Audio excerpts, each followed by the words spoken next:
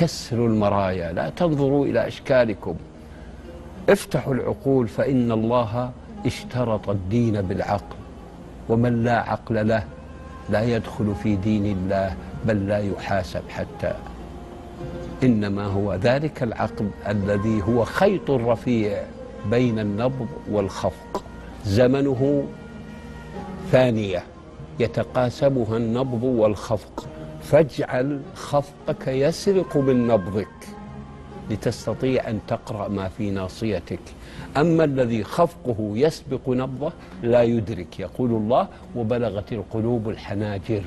لذلك وضع الله القلب في مكان بعيد عن الناصية ليدرك الإنسان ويكون يتحكم في زمن خفقه. فأبطئوا خفقكم تقرؤون ما في هذه الناصية فهي المسؤول عنها أنت يوم القيامة.